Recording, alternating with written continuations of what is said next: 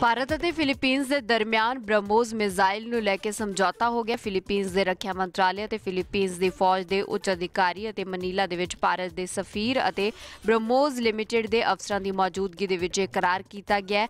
ਭਾਰਤ ਨੇ ਕਰੀਬ 37.50 ਕਰੋੜ ਡਾਲਰ ਦੀ ਇਹ ਡੀਲ ਕੀਤੀ ਹੈ। ਬ੍ਰਹਮੋਸ ਦੇ ਸਮੁੰਦਰ ਤੋਂ ਲਾਂਚ ਹੋਣ ਵਾਲੀ anti ship cruise missile version ਨੂੰ ਫਿਲੀਪੀਨਸ ਨੂੰ ਦਿੱਤਾ ਜਾ ਰਿਹਾ ਹੈ। ਫਿਲੀਪੀਨਜ਼ ਦਾ ਚੀਨ ਦੇ ਨਾਲ ਕੁਝ ਮਹੀਨਿਆਂ ਤੋਂ ਲਗਾਤਾਰ ਸਮੁੰਦਰ ਦੇ ਵਿੱਚ ਤਣਾਅ ਵਧਦਾ ਜਾ ਰਿਹਾ ਸੀ, ਜਿਸ ਕਰਕੇ ਹੁਣ ਫਿਲੀਪੀਨਜ਼ ਆਪਣਾ ਦਾਇਰਾ ਵਧਾਉਣ ਦੀ ਕੋਸ਼ਿਸ਼ ਦੇ ਵਿੱਚ ਹੈ ਤੇ ਹੁਣ ਫਿਲੀਪੀਨਜ਼ ਦੇ ਵੱਲੋਂ ਭਾਰਤ ਤੋਂ ਬ੍ਰਹਮੋਸ ਮਿਜ਼ਾਈਲ ਖਰੀਦੀ ਗਈ ਹੈ।